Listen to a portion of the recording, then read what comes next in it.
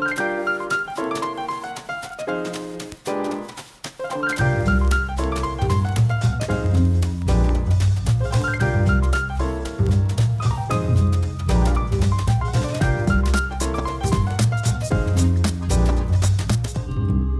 Bonjour à tous, vous ne savez pas quoi faire pour vous divertir, vous détendre et vous cultiver?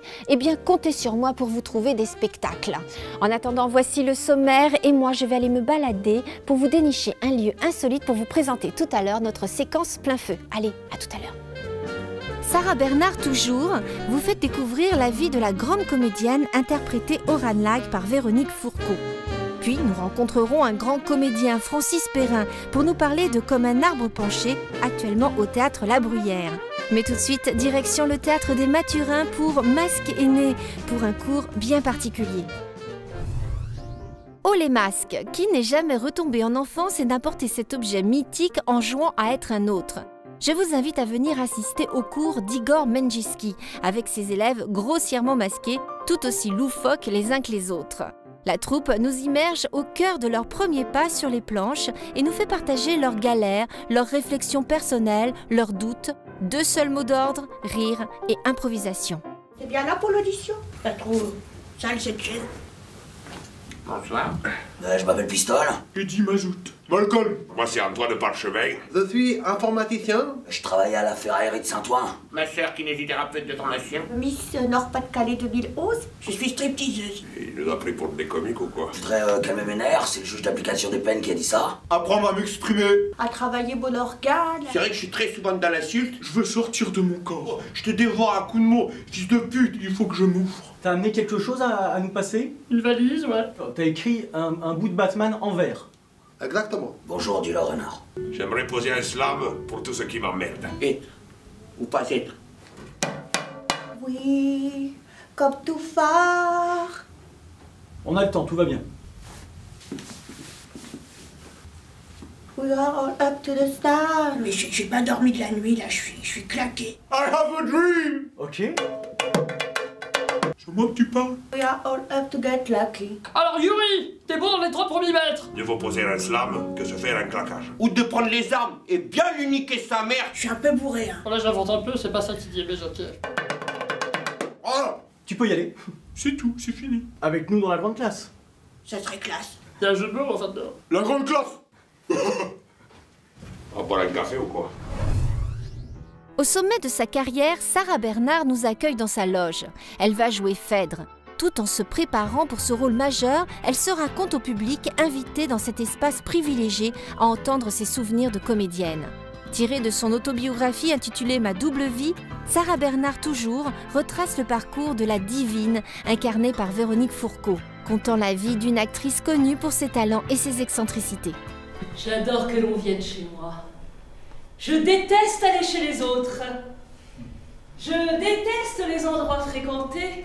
J'adore les routes désertes, les endroits solitaires. J'adore recevoir des lettres. Je déteste en écrire. J'adore donner des conseils. Je déteste en recevoir. D'un amour ardent,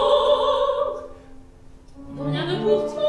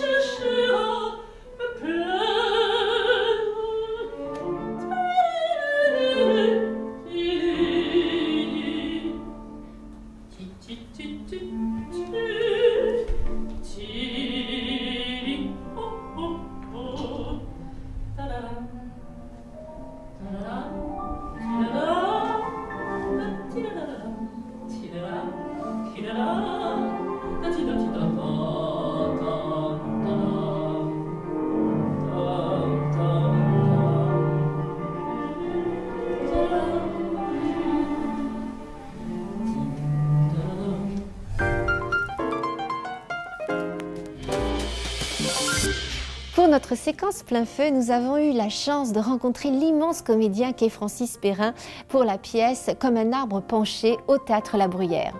Ce spectacle, créé sur une idée de Michel Leb, lui offre l'un de ses plus beaux rôles, plein de sensibilité et de drôlerie. C'est Michel Leb et Jean-Luc Tardieu qui m'ont envoyé la pièce de Lilian Lloyd, Comme un arbre penché, en me disant Elissa, je pense que ça va te plaire. Effectivement, ils avaient raison. C'est une écriture euh, assez particulière dans sa forme dramaturgique, puisque vous le savez, il y a trois personnages en scène, mais il y en a un, pour des raisons à découvrir, qui ne répond pas ou répond, mais d'une certaine euh, façon. Quoi, voilà. Silencieuse. Il répond d'une manière silencieuse. On peut le dire en, en clignant des yeux. Bon, voilà. Mais c'est vrai que c'est une. On peut dire que c'est une comédie dramatique. Ça, c'est formidable parce que c'est assez rare. C'est-à-dire que c'est une sorte de montagne russe comme ça. C'est du, vrai théâtre. C'est fait pour rire, c'est fait pour pleurer. Mon personnage, c'est. Je viens voir un ami, on, se connaît depuis 50 ans, mais ça fait 12 ans qu'on ne s'est pas vu. Il y a eu une, rupture pour. On, saura pourquoi pendant la pièce.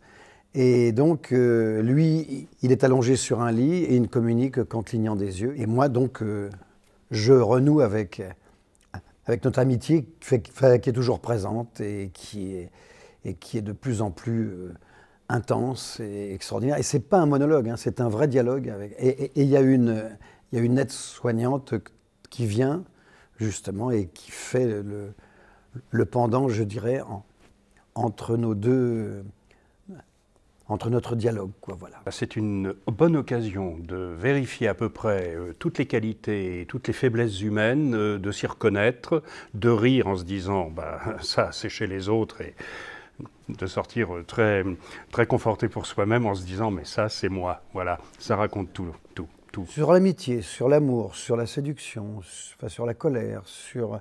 Euh, les regrets, sur, sur la goujaterie, sur les excuses, sur la vie la vie, toute la vie. C'est une pièce sur la condition humaine, c'est vous dire que le spectre est large. Voilà. Et eh bien voilà, c'est la fin du journal du théâtre, il est temps de se quitter. Alors j'avais un truc à vous dire, mais alors qu'est-ce que c'est? Ah oui, euh, c'est une citation de Victor Hugo. Ah oui, je l'avais noté parce que... Alors, euh, il y a deux manières de passionner la foule au théâtre, par le grand et par le vrai. Le grand prend les masses, et le vrai saisit l'individu. Voilà, bon ben ça c'est fait. Alors le grand prend les masses et le vrai saisit l'individu.